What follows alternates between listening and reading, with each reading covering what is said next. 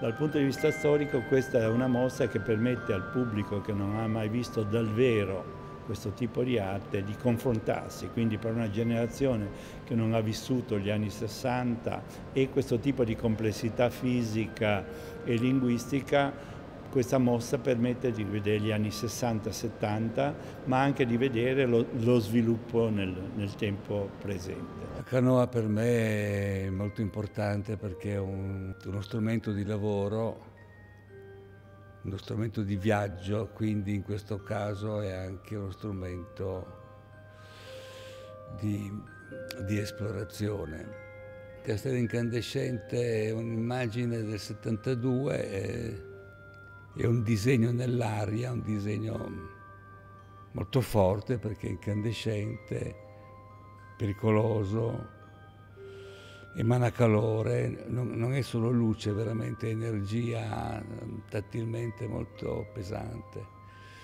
Dopodiché mm, c'è questo giavellotto che è un segno, cioè se il giavellotto lo si, lo si impugna per utilizzarlo la stella crolla. E il giavellotto è un altro elemento che uso da, da tantissimi anni perché è un elemento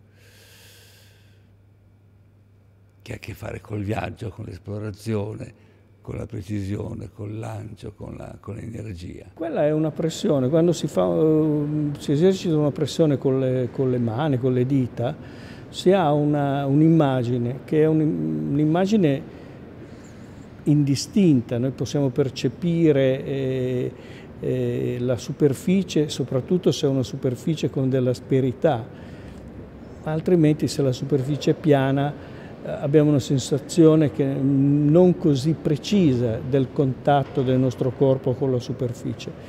Eh, il lavoro è semplicemente mettere in evidenza questo aspetto di questa immagine, un'indicazione delle, immagini che giornalmente produciamo in modo involontario. Lo spazio del contatto della pelle, il contatto con la superficie è uno spazio che in fondo, se ci si pensa, non ha un limite molto eh, preciso. Sì, conosciamo il limite del nostro corpo, ma nella nostra mente ad occhi chiusi può essere qualcosa che ha, che ha le dimensioni del, eh, dell'universo. Questa porta è, un lavoro del 69, è esposto molte volte e, allora Germano l'ho voluto anche qua. La cosa era di trovare questa porta che ha dunque, come tutte le porte, hanno a che fare con, un, con la misura di un uomo. Tutte le porte sono fatte così. E poi si prestava per poter fare inserire dentro una sensibilità, una sensibilità arcaica. Ecco. Inizialmente avevo fatto la cosa con il carbone nel 67. Prima di tutto era un'uscita dal quadro e che questo è un fatto anche generazionale, diciamo, l'uscita del quadro è, è, affrontato da queste persone dell'arte povera. No? Ecco. È, una, è una direzione, c'è un titolo che dice verso oltremare quindi c'è questa indicazione, questa direzione, questa freccia, non so come dire, che tende verso oltremare, colore, oltremare sulla terra. Quindi è una situazione di energia, c'è una tensione, c'è questo peso della pietra che anziché essere preda eh, totale della forza di gravità che la terrebbe al suolo, insomma, no? è in tensione, no? Tende verso oltremare, verso dove c'è il colore e quindi diventa una, una, una pietra viva, no? una direzione viva che veramente tira verso l'oltremare, no? qualsiasi direzione si prenda, prima o poi c'è l'oltremare, insomma. No?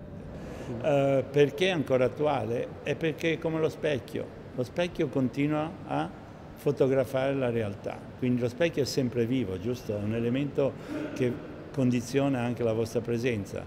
Prima non c'eravate, adesso ci siete, quindi fondamentalmente lo specchio è una macchina fotografica che continua a registrare, seppur in tempo non reale, la vita. Quindi di fatto questo tipo di arte continua a vivere, continua ad essere attiva, poi perché usa materiali che sono l'acqua, gli animali e tutta una serie di elementi e quindi continua ad avere una vitalità. Per cui tra passato e presente e futuro, perché lo specchio continuerà a fotografare, non c'è differenza.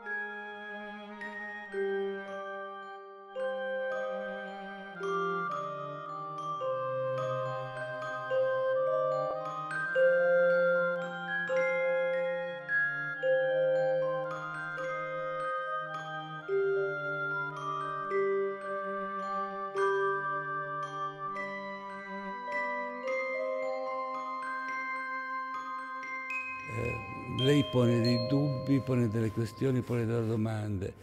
E la risposta che posso dare io come spettatore privilegiato è una.